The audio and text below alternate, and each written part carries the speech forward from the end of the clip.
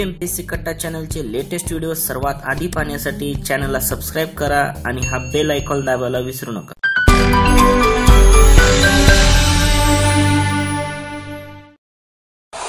नमस्कार विद्यार्थी मित्रांनो मी प्राध्यापक अगरवाल रत्नेश.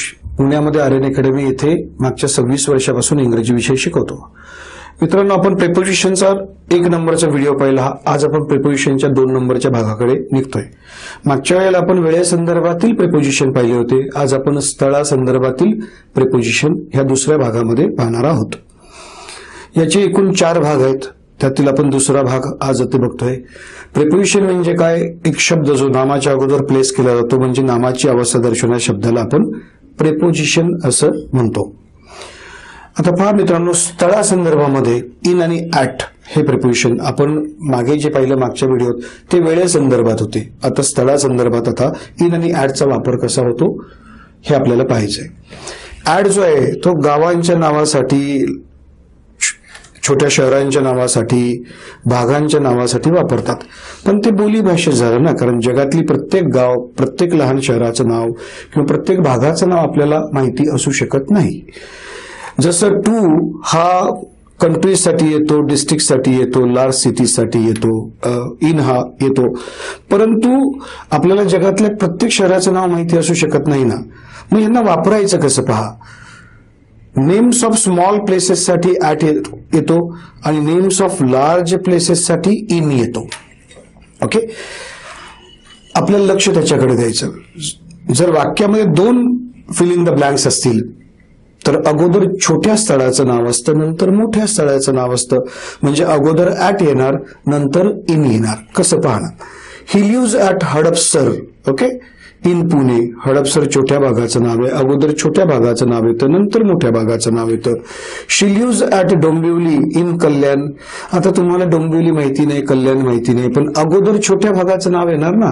नंतर मोठ्या भागाचं नाव येतं. म्हणजे अगोदर ऍटच येतो नंतर इनच येतो. हे इतकं सोपं आहे. He lives at Tandur in Andhra Pradesh आता तंदूर तुम्हाला माहिती नाही परंतु तुम्हाला हे माहिती आहे अगोदर छोट्या भागाचं नाव येतं नंतर मोठ्या भागाचं नाव येतं. He lives at Maharashtra in India अगोदर छोट्या भागाचं नाव येतं नंतर मोठ्या भागाचं नाव येतं. ओके आता पुढेही बघा ना. He lives at New York in America अगोदर छोट्या भागाचं नाव येतं नंतर मोठ्या भागाचं नाव येतं. Tukaram was born at Dehu in Pune छोट्या भागाचं नाव मोठ्या भागाचं नाव. Okay he lives at fifteen university road Ganesh Khind Pune छोट्या भागाचं नाव नंतर मोठ्या भागाचं नाव. अभ्यासा इतका सोपा आहे. आता पुढे आहे इन आणि इन टू एक वस्तू दुसऱ्या वस्तूच्या आत असेल तर इन आणि मुवमेंट असेल मोशन असेल तर इन टू ओके आता कसं बघा ना ही इज इन बेड म्हणजे तो बेडमध्ये आहे. म्हणजे कसं आहे पहा हे जे स्ट्रक्चर आहे याला बेड म्हणतात. ओके आणि ही झाली मच्छरदानी आणि ह्याच्यामध्ये हा झोपतो. ओके म्हणून ते इन बेड असं म्हटलं जातं. आणि ऑन मॅट्रेस असं म्हणलं जातं. त्याचा भौतिक स्पर्श गादीला आहे पण ह्या स्ट्रक्चरमध्ये तो जाऊन झोपतो म्हणून त्याला बेड म्हणतात. He is in the room there is water in the glass एक वस्तू दुसऱ्या वस्तूच्या आत आहे. I hit him in the face inter स्ट्रक्चरला face म्हणतात. इथं हिट होतो ना. अख्ख्या चेहऱ्याला थोडी हिट होतो. या स्ट्रक्चरमध्ये हिट होतो म्हणून त्याला इन द फेस असं म्हणतात. A bird sat in a tree a bird sat on a branch but in a tree तो त्या स्ट्रक्चरच्या आतमध्ये आहे ना. म्हणून त्याला इन अ ट्री असं म्हटलं जातं. इंटू किंवा येतं मोशन आता ही मोशन कसं कळतं आपल्याला? गोईंग आणि कमिंग मुळे कळतं. He is going in to the room he is coming in to the room he is going in to the library he is coming in to the library मग going आणि coming motion सांगतं movement सांगतं आणि मग आपल्याला तिथे in to वापरायचं असं समजून जातं.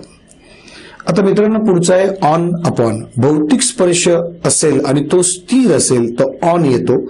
मुवमेंट असेल तर अपॉन येतो कसं पाहणं ना आता I sat on a chair okay मी खुर्चीवरती बसलेलो आहे भौतिक स्पर्श आहे तो स्थिर आहे ऑन येणार की नाही। The flower pot is on the table भौतिक स्पर्श आहे स्थिर आहे। ही सॅट ऑन अ चेअर भौतिक स्पर्श आहे तो स्थिर आहे ऑन येतो the book is on the bench भौतिक स्पर्श आहे तो स्थिर आहे। There is a ring on his ring finger okay म्हणजे त्याच्या इथे काय ऑन आहे? There is a ring on his ring finger okay तर भौतिक स्पर्श आहे तो स्थिर आहे मग येणार on mister Patil is senior to all others on the staff म्हणजे काय on the muster staff room असतं तर in the staff room seniority ही मस्टरनुसार असते ना म्हणून ते ऑन द स्टाफ आलेलं आहे मुवमेंट असेल तर अपॉन येतं he jumped upon the fencing त्याने कुंपणावर उडी मारली keep the book up on the table movement असेल तर कोण येतं? अपॉन येतं. आता विदाऊट जो आहे तो बोली भाषेमध्ये येतो. म्हणजे च्या शिवाय या अर्थाने you cannot do this without him असं बोली भाषेत बोलण्यासाठी येतं.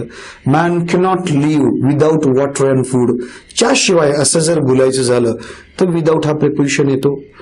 आता मित्रांनो पहा वाक्य कर्मणी प्रयोगाचं बाय आणि वीजसाठी असणं बंधनकारक आहे.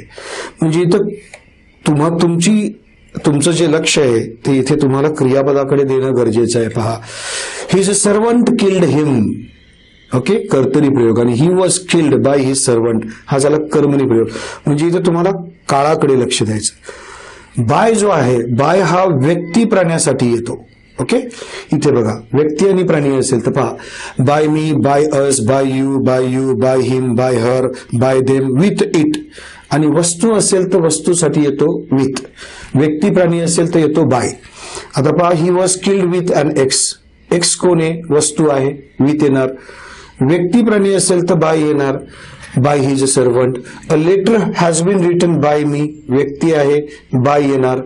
Okay the work is being supervised by an engineer व्यक्ती प्राणी असेल तर बाय येतो ही वॉज शॉट इथं आता बघा विथ अ गन वस्तू आहे बाय हिज वाईफ व्यक्ती प्राणी असेल तर बाय येतो वस्तू असेल तर विथ येतो ओके आणि इथे तुम्हाला कर्माचे काळ आहेत की नाही हे बघणं गरजेचं आहे. आता बघा ना he was killed with an axe axe कोण आहे वस्तू आहे. The tiger was shot with my new gun वस्तू आली विथ आलंय. व्यक्ती आहे बाय आलेला आहे. The room was filled with smoke कोणे? वस्तू आहे विथ आलेला आहे. आणि he was shot with a gun वस्तू आहे विथ येतो. व्यक्ती प्राणी असेल तर बाय येतो. मात्र विथ आणि बाय इथे त्यासाठी तुम्हाला ते वाक्य कर्मणी प्रयोगाचं आहे की नाही ते तुम्हाला तपासणं गरजेचं आहे. आता बिटवीन आणि अमंग आहे. मी तुम्हाला सांगितलं प्रेपोजिशनचा अभ्यासात जोड्यांमध्ये करायचा असतो.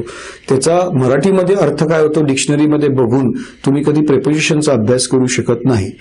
आता बिटवीनचा पहिला नियम असा आहे की दोन व्यक्ती दोन वस्तूसाठी बिटवीन येतो जे तुम्ही शाळेमध्येही शिकलेलं आहे. I have to choose between these two pictures दोन आलेलं आहे म्हणून बिटवीन आलेलं आहे. I stood between Hari and Ram दोन जणांसाठी बिटवीन आलेलं आहे. Mother distributed the cake between the two children okay the property was divided between the two sons दोघांचा उल्लेख असेल स्पष्टपणे तर बिटवीन येतो. दोन समूहांसाठी सुद्धा दुसरा नियम पहा बिटवीन येतो. दोन समूहांसाठी. पण तिथे टू हा शब्द नमूद नसतो. ओके दोन समूहांसाठी बिटवीन येतो हा नियम तिथे माहिती असणं गरजेचं आहे. He walked across the park between the flower beds इकडे एक फुलांचं ताटव आहे इकडे एक फुलांचं ताटव आहे. दोन्हींच्या मधून ते चाललेले आहेत. ओके फ्लॉवर बेड्स हे काय झाले? समूह झाले. ओके ते march up the aisle between the pillars okay म्हणजे इकडे एक खांबांची रांग आहे इकडे एक खांबांची रांग आहे. ते त्या दोन्हींच्या मधून चाललेलं आहे. इथे दोन समूहांसाठी बिटवीन येतो. हे माहीत असेल तर आपल्याला बिटवीन वापरता येतो. आता पहा की दोन व्यक्तीसाठी बिटवीन येतो दोन समूहासाठी बिटवीन येतो. मग वक्ता हा एक व्यक्ती झाला आणि श्रोता हा एक समूह झाला. मग एक व्यक्तीने एक समूह यासाठीही बिटवीन असावा. म्हणून नियम झालाय की वक्ता आणि श्रोता यांच्यासाठी बिटवीन येतो. पण मित्रांनो तो वक्ता श्रोता ओळखायचं कसं? त्याची सुरुवात कशी असते? Ladies and gentleman ladies and gentleman कोण म्हणतो? वक्ता म्हणतो. Between ourselves let me tell you that this government is about to fall म्हणजे वक्ता आणि श्रोतासाठी बिटवीन येतो. आता मित्रांनो बघा वेळ आणि स्थळ दर्शवण्यासाठी बिटवीन आणि अँडची जोडी आहे. इकडे लक्ष द्या. बिटवीन आणि अँडची जोडी आहे. बिटवीन असेल तर पुढे अँड येतो. पुढे अँड असेल तर मागे बिटवीन येतो ही जोडी आहे. I attended a lecture between one P M and four P M हे झालं वेळेसंदर्भात. Switzerland lies between France Germany and Italy between अँडची जोडी आहे. I have enough to keep my mind occupied between my studies and work okay म्हणजे वेळ आणि स्थळ दर्शवण्यासाठी between हा अँड सोबत येतो. हा झाला त्याचा चौथा नियम. दोनापेक्षा अधिक व्यक्ती असतील दोनापेक्षा अधिक वस्तू असतील okay more than two people or things among वापरण्यात येतं जे तुम्ही शाळेतही शिकलेलं आहे. कसं बघा ना mother divided the cake among the four children. The British were able to conquer India because the Indian princes quarreled among themselves. Okay? इथे काय आलेलं आहे? दोनापेक्षा अधिक आहे. The property was divided among the three sons दोनापेक्षा अधिक जणांचा उल्लेख असेल तर अमंग येतो दोघांचा उल्लेख असेल तर बिटवीन येतो. आता मित्रांनो फ्रॉम पुढचा. It is use to refer to the beginning of the time म्हणजे वेळ आणि स्थळ दर्शवण्यासाठी फ्रॉम टू सोबत येतो. हे वेळेसाठी आहे हे स्थळासाठी आहे. आणि जसं बिटवीन अँडची जोडी आहे तसं फ्रॉम टू ची जोडी आहे. ओके हे जर स्पष्ट माहिती असेल तर इथे प्रिपरेशन वापरणं फार सोपं असतं पहा. ओके वेळ आणि स्थळ दर्शवण्यासाठी फ्रॉम टू ची जोडी येते आणि बिटवीन अँडची जोडी येते. We studied from six a.m. M to ten I M I lecture lecture from one P M to four P M आणि हेच वाक्य आपण बघितलं होतं. I attended lecture between one P M and four P M between सोबत and येतो. From सोबत to येतो. They run from their houses to school स्थळ आहे. He travel from Pune to Goa from to ची जोडी आहे. आता पहा. डिपार्चर ऑफ टाइम किंवा डिपार्चर ऑफ प्लेस याच्यासाठी ही फ्रॉम येतो. He has grown from my house place आहे. They have bought these books from the market place आहे. He will join school from tomorrow time आहे. I shall take rest from May time आहे. Okay म्हणजे नुसतं वेळ नुसतं स्थळ दर्शवण्यासाठी सुद्धा फ्रॉम हा येतो. आता एखाद्या गोष्टीचा सोर्स काय आहे इन्फ्लुएन्स काय यासाठी सुद्धा फ्रॉम येतो कसं? The man earn the wealth from misdeeds the income derived from the ownership of land is commonly called rent he was suffering from malaria man is entirely different from other animals म्हणजे source आणि इन्फ्लुएन्ससाठी from येतो. मित्रांनो नेमकं आपण काय अभ्यासायचं ही जर आपल्याला माहिती असेल तर आपल्याला प्रेपोजिशनचं उत्तर चटकन देता येतं. त्यासाठी काही बारीक गोष्टी तुम्हाला मी दाखवल्याप्रमाणे लक्षामध्ये ठेवायचं आहे. मला ऐकल्याबद्दल धन्यवाद. नमस्कार.